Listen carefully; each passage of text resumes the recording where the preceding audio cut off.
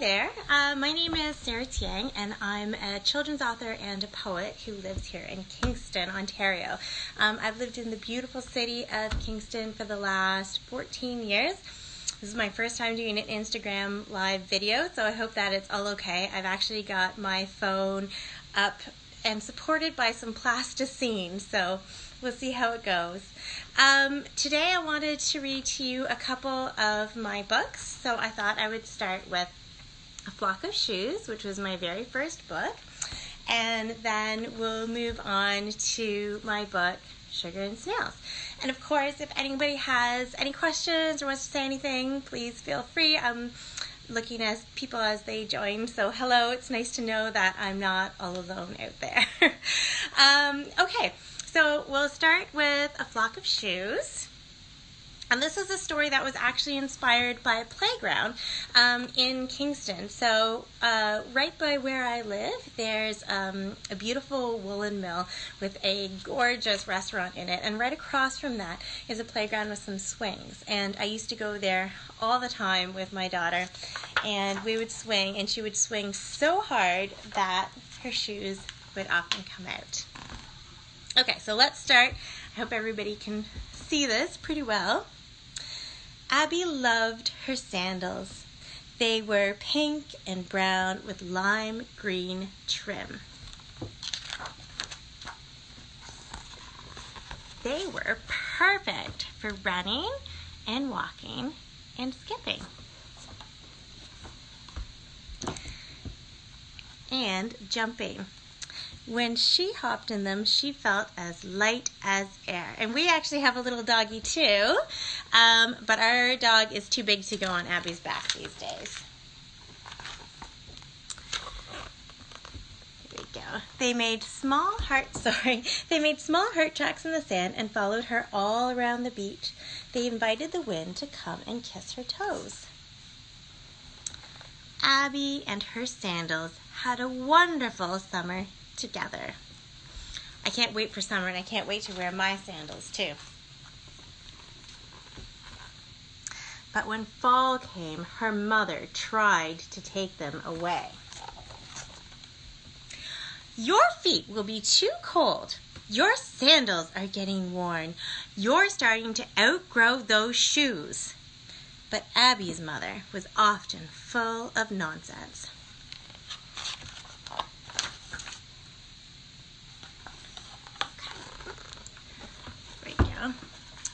One bright fall day at the park, Abby was swinging with her favorite sandals on. Abby was swinging higher than she had ever done before. She swung so high that her sandals flipped right off her feet. First one, then the other.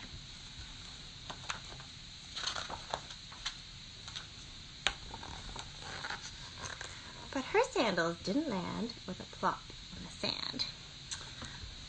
And her sandals didn't land with a thunk on the grass.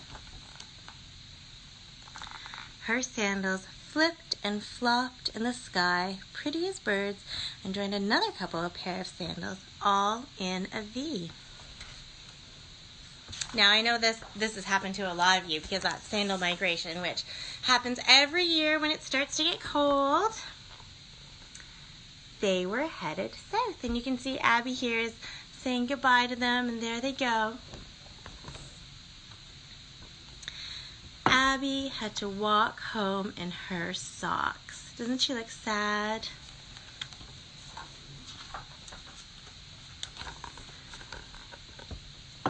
Okay, I don't have this memorized, so I have to check it too. And then, when she told her mother, her mother huffed about fibs and got out Abby's brand new boots. Poor Abby, her mom doesn't believe her. All winter long in her boots, Abby thought about her sandals. You can see here, she's making a little sandals out of the snow.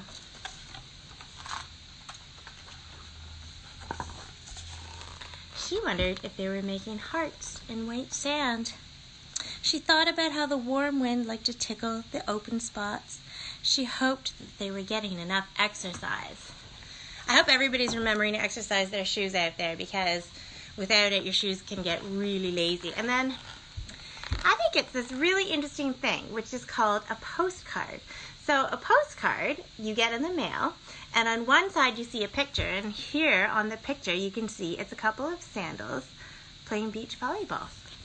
And her postcard says, Wish you were here. The weather is warm, the sand is soft, but we still miss the tickle of your toes. So I wonder who sent those to her. And then she gets another postcard here. And here you can see the sandals are enjoying a nice beach, a beautiful sunset. And it says, To Abby, thought about your heels today. We miss you to the bottom of our souls.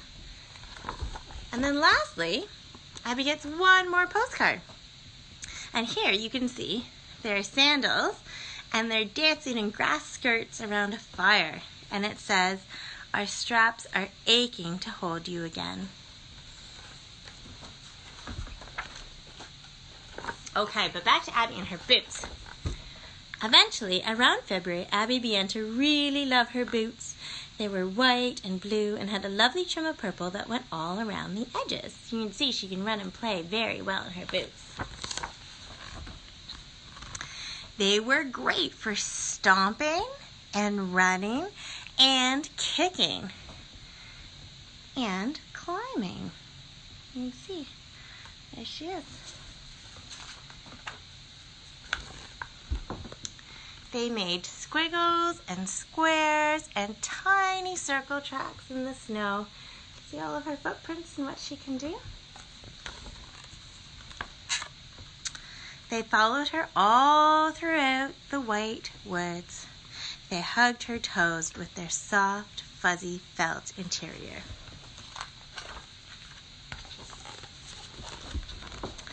Then, one warm spring day, as Abby was putting on her sandals, she heard the whistle of the northbound train. And uh oh, look at this. She's putting on sunscreen, but her sandals are going.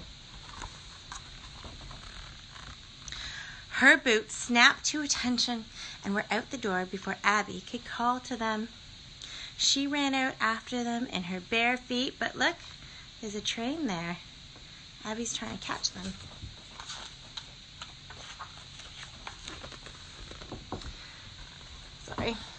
But they were already joining another line of rugged boots, running and hopping on the boxcars as the train chugged by. The sweet sound of harmonica music and the beat of stomping boots floated on the breeze. Abby sat in the new grass and waved sadly goodbye to her beloved sandals.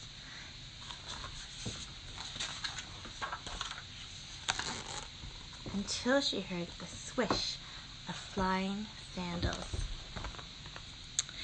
They landed gracefully from the sky, parting from a large flock of shoes, and they were glorious pink and brown with lime green trim.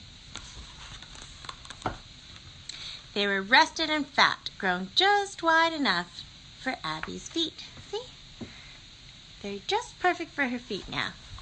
I think everybody's going to have to start giving it their own sandal soon. And then on the very last page, what we have here is a postcard. But this postcard isn't from her sandals anymore. This postcard is from her book, from her boots. And it says, Early nights and gorgeous lights, but we still miss the warm wiggle of your toes. Hope to see you soon. And it's got beautiful lights in the background. Now, when we first made this book, and I looked at this picture, and in the text it was supposed to be Northern Lights, and I thought it was. But then I went on a trip up north to read my books to kids up north, and I said to them, "Okay, so what are the boots looking at?" And they said, "We have no idea." I said, "What do you mean you have no idea? It's the Northern Lights." And they said, "No, the Northern Lights are only ever green and blue." they said it's not pink. So that is something that I learned. So it's a little bit of creativity there. Shouldn't actually be pink. Northern Lights should actually be green, but still fun anyway. So, um, if you want to do an activity related with Flock of Shoes on Visit Kingston's um, Instagram site, we put up the postcards. So what you can do is you can color in the, you can print them off, then color in the postcards, and then you can go ahead and turn it around and write a postcard to somebody that you love and tell them how you're doing because I know that we don't get to see as many people as we like to see these days. So um, that's a nice, fun thing to do. Okay, I wanted to um, read you another story. This one is called Sugar and Snails. And this one is a little bit more recent than A Flock of Shoes. In fact, I think Sugar and Snails is my latest children's book. So this one is based on an old, old rhyme. And I wrote this one right after um, my son was born. So there's an old rhyme, and I don't know if you guys can see it okay, but it says, What are little boys made of? Frogs and snails and puppy dog tails. What are little girls made of? Sugar and spice and everything nice. And I thought, that's not what my kids are made out of. So I thought it might be fun to write a book about what kids are actually made out of. So here we've got a grandpa, and he's talking with his two grandkids. So we've got a little daughter here, and we've got a little boy here. And the grandpa says, Pass me the sugar, would you?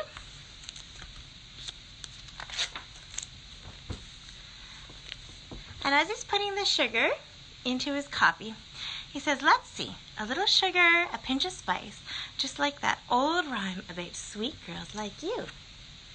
And the little boy says, What about sweet boys like me?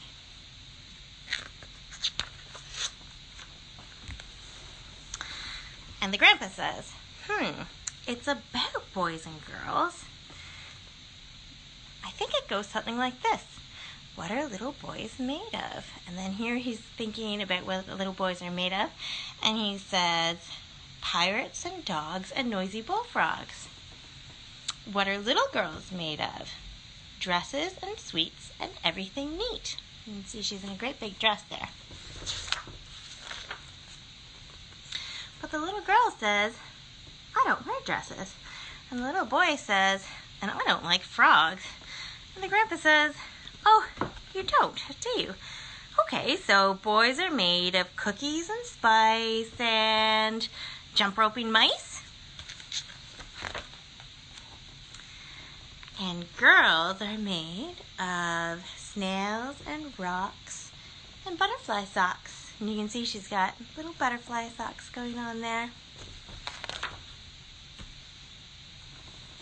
And then here we've got a whole scene in the kitchen. There's the boy launching off the toaster. And he says, maybe it was boys are made of lightning and newts and rubber rain boots. See the big rubber rain boots?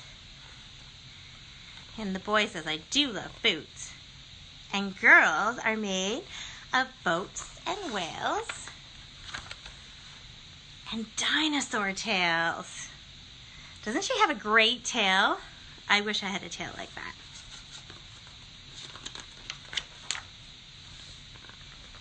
And then he says, well, maybe it was boys are made of balloons and mutts and fresh chicken butts. I think there's a good chance boys are made out of chicken butts. And the boy says, well, girls are made of monkeys and dirt and lemon dessert.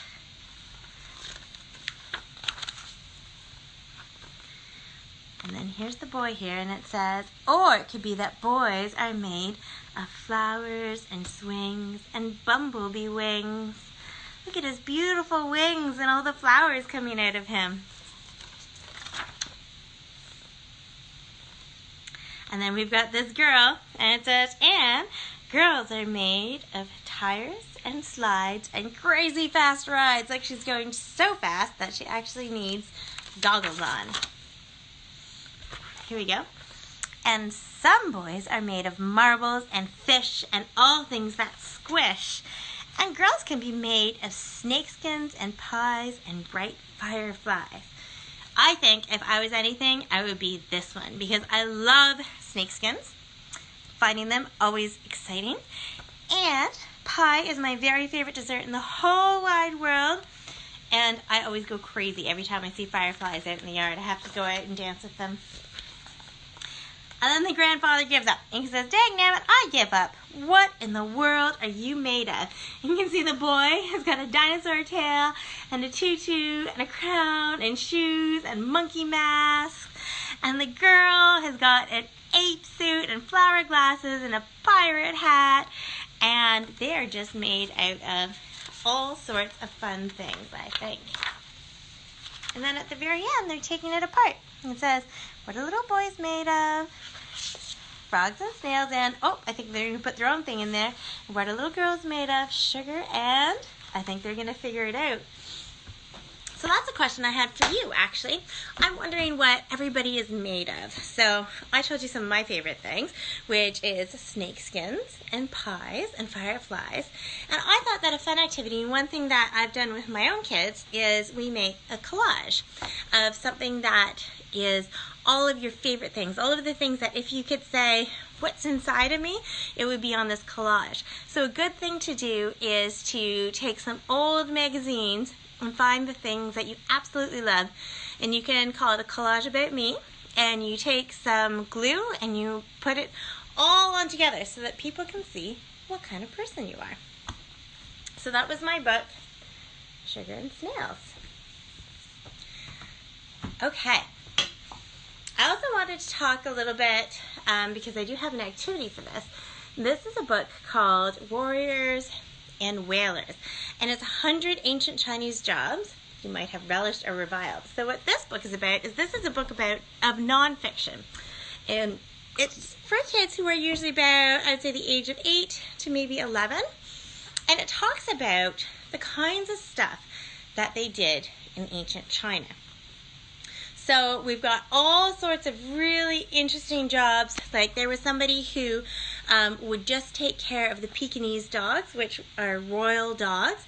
And these dogs didn't even have to walk in the yards. They had their own servants, and the servants would hold these like silk platforms, and they would bring the dogs into the garden, and they would paint beautiful pictures of puppies for the dogs, so that the, when the dogs were pregnant, they could look at the beautiful pictures of puppies and have beautiful, beautiful puppies.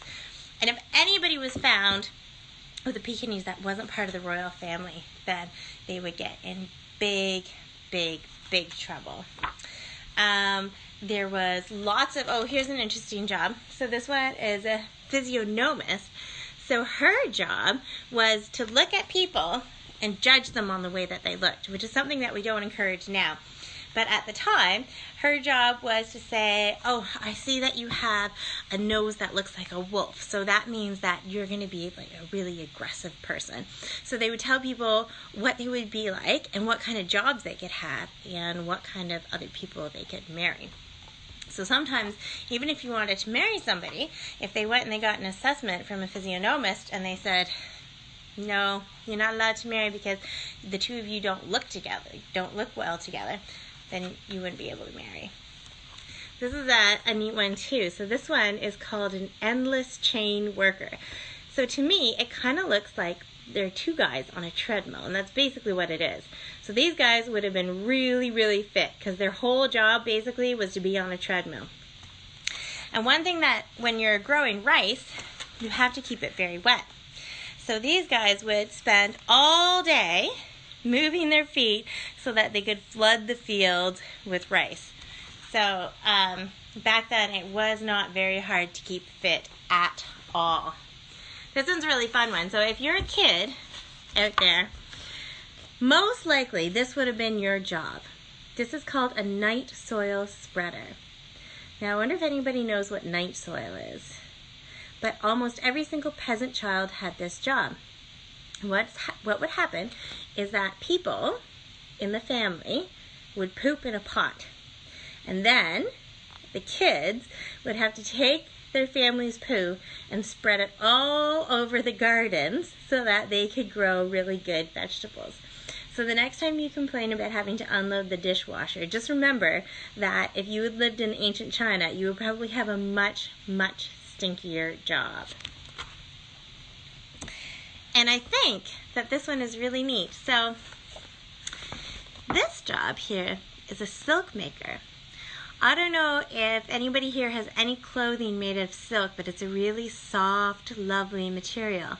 And silk is actually made from silkworms. So what they would do with the silkworms is they would let the worms make their cocoon. And their cocoon is actually made out of silk. And when their cocoon was made, they would boil them and then they would be able to unravel the cocoon and that's where you would get the silk from. So you can imagine that it took lots and lots and lots of caterpillars in order to be able to do this.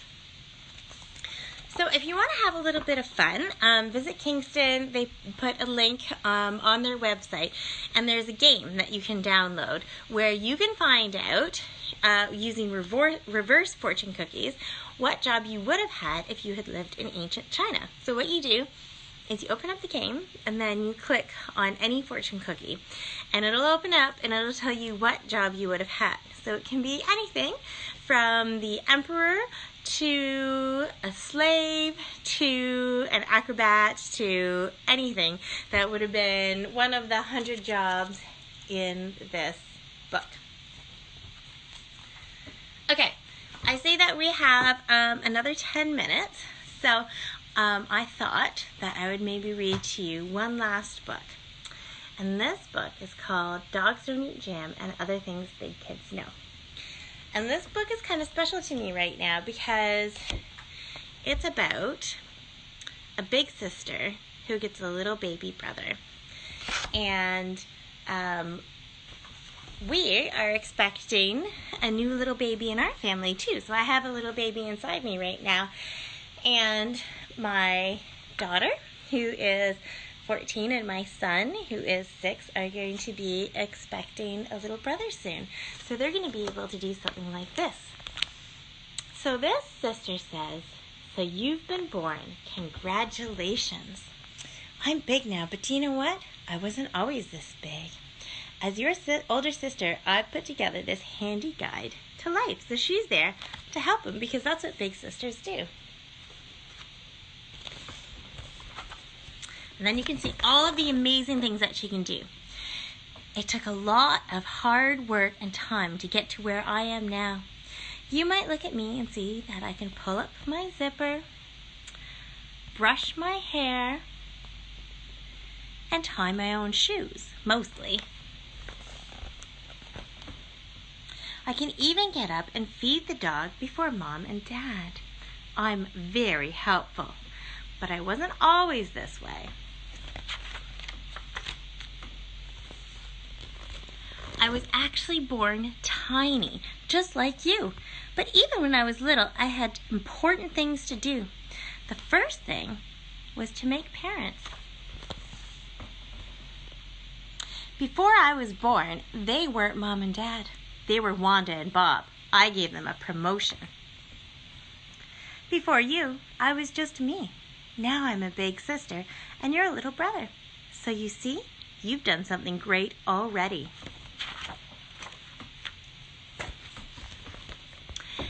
everything is going to be new to you.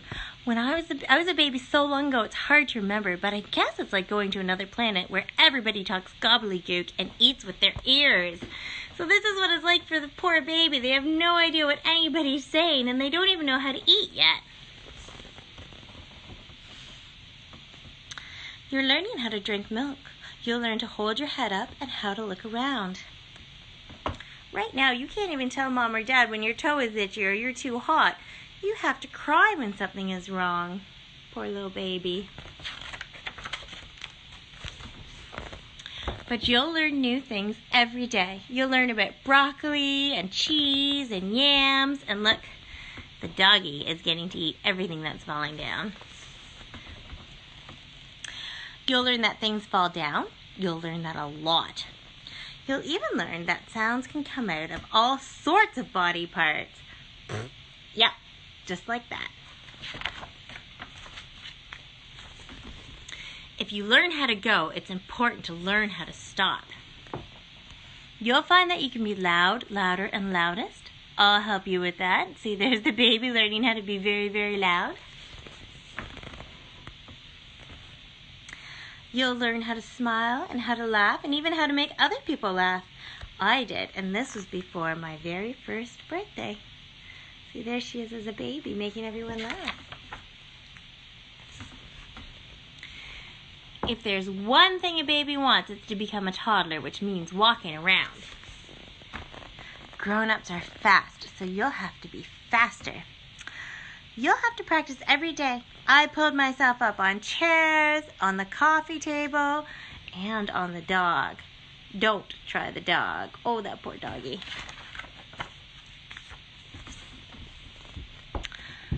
I fell a lot, but I got back up again, even if I did need a little cry first. So she's showing to her baby about how she fell so many times.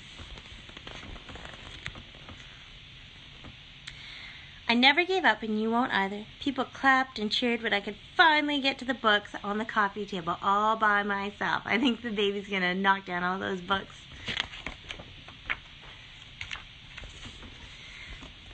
The next thing you'll have to do is learn how to talk. Grown-ups use millions of words every day. Take it from me, it's best to learn the important ones first, and she thinks the important ones are cookie, mama, up, and daddy. But don't stop there. You'll want to name everything. You'll want to name the whole world with big words like hippopotamus and mango juice and moon. You'll spend hours learning how much cups can hold and how much they can't. We'll read piles of stories about monkeys and toothpaste and everything. Just remember not to drool on my books.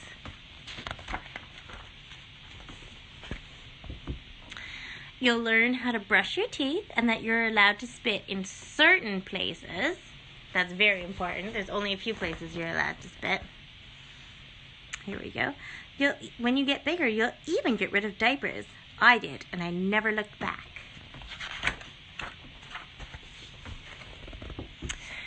Of course, it won't be all smooth. You'll have some trouble with mom and dad. I did when they were in their bossy stage. Always telling me which way to put on my pants or where to paint or that the dog doesn't eat jam.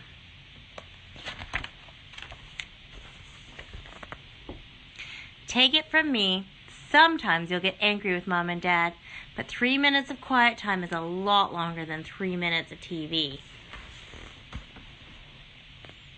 You'll learn that mad goes away, but love stays. Hugs can make mad go away even faster.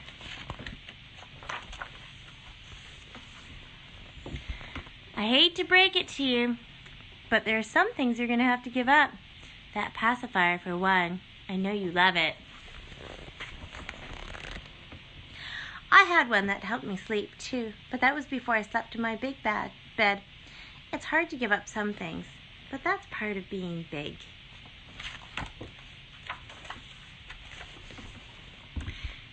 When you're as big as me, you'll be able to do things without mom and dad. I had to leave them by themselves to go to kindergarten. They were very brave. Now I ride a big yellow bus and I'm learning to count as high as the sky. I can print my letters except for K and make a puppet out of toilet paper rolls. And believe it or not, little baby, one day you'll be just as big as I am. With a little help, of course. And thank goodness we have older siblings to help us teach us how to grow. Well, thanks very much, everybody. I had a really good time here. I hope you had a good time, too. Don't forget, you can do the coloring of the postcards or you can do the game for Warriors and Wailers. I hope everybody stays safe out there and that everybody um, can still call their grandmas and their grandpas and say hello.